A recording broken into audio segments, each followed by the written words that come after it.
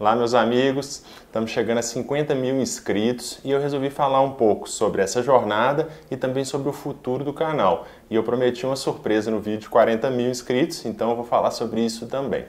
Estamos terminando uma jornada aí de vídeos, de 31 vídeos, foi o Março Sem Tabu, então falamos bastante né, sobre os temas que vocês sugeriram, foram perguntas de vocês. Eu sei que não deu para falar sobre tudo, muita gente ainda tem muita dúvida, pode continuar mandando que eu continuo respondendo, continuo gravando vídeos.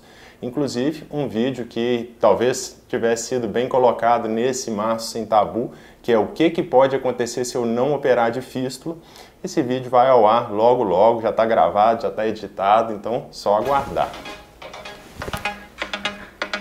Quem acompanha o canal já sabe um pouco da minha história. No vídeo de 10 mil inscritos eu falei um pouco sobre isso, sobre a história do canal, sobre minha formação, mas desde então já tem muita gente nova aí acompanhando o canal, então vou falar um pouquinho sobre isso.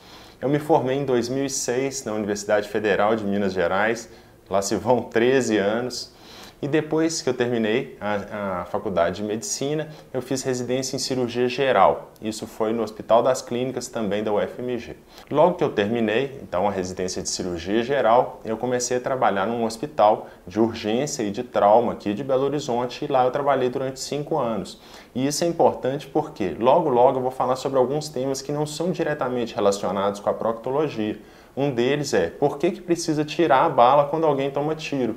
Isso é uma curiosidade que muita gente tem, uma pergunta que eu já ouvi várias vezes, então nós vamos falar um pouquinho sobre isso. Então, simultaneamente, eu fiz a residência de coloproctologia no Hospital Felício Roxo e desde então eu trabalho com a coloproctologia.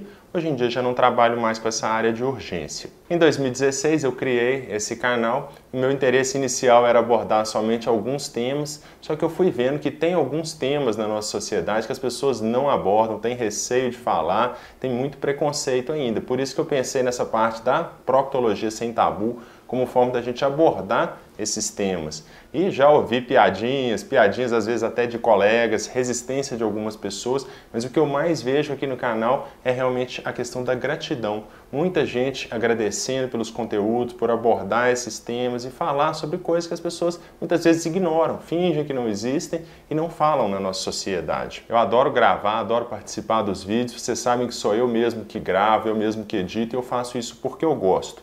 E também porque eu acho que dá um dinamismo para o canal. Então eu tenho liberdade para gravar o tema que eu quero. Quando vocês sugerem, eu tenho como mudar minha planilha de vídeos. Então várias vezes eu já gravei vídeos sobre temas às vezes que nem tem tanta gente que procura, são síndromes às vezes raras, mas que eu tenho essa liberdade de fazer porque sou eu mesmo que faço. Quem acompanha o canal sabe que eu me pauto pelo código de ética médica, então tem perguntas que às vezes eu não posso responder de forma direta, mas eu tento sempre ajudar, sempre que eu posso.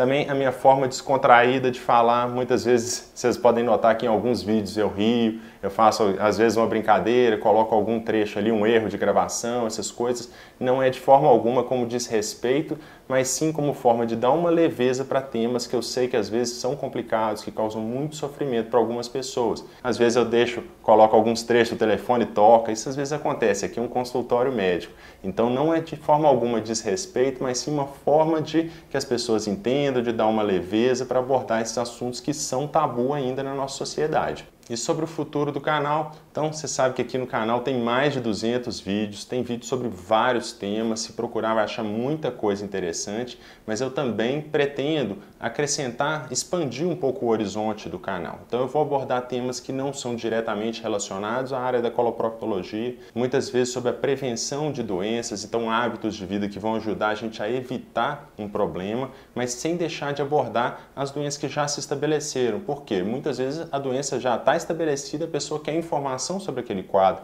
eu não vou deixar de abordar esses temas. Como eu falei para vocês, tem alguns vídeos que já estão gravados, que vão ao ar logo logo, que eu acho que são muito interessantes. Então esses vídeos vocês não podem perder. Um deles é esse sobre o câncer de reto e também um vídeo que deve se chamar Viagem pelo aparelho digestivo ou pelo sistema digestivo Esse também eu vou explicar o que, que acontece depois que a gente se alimenta até que a gente evacua. Então vai ficar muito legal, vai dar para entender qual o papel de cada órgão, então não deixa de assistir esses vídeos. E sobre a surpresa que eu falei no vídeo de 40 mil inscritos, é que eu comecei a trabalhar num livro. Esse livro inicialmente para o público leigo, abordando os principais temas em coloproctologia. Eu digo inicialmente porque, a princípio, esses horizontes podem se expandir e a gente fala sobre outras áreas também, a questão de alimentação, que eu me interesso muito e vocês também perguntam muito. Eu vou abordar também essa questão dos probióticos. Então, esse tema ainda não está fechado. Alguns temas já têm lugar garantido, claro que vocês perguntam muito, assistem muito aqui do canal, mas também estou aberto a sugestões. Então, fiquem à vontade para sugerir temas e a gente vai conversando ao longo do tempo sobre isso. Quando tiver uma data prevista e quando já tiver mais avançados os trabalhos, eu vou dando notícia. Muito obrigado por assistir o vídeo, por se inscrever no canal e também por compartilhar. Quando vocês curtem compartilham, vocês mostram para o YouTube que esses vídeos têm valor e isso estimula a continuar produzindo conteúdo, abordando todas as questões e ajudando muitas pessoas de uma forma sem tabu. Muito obrigado e até a próxima.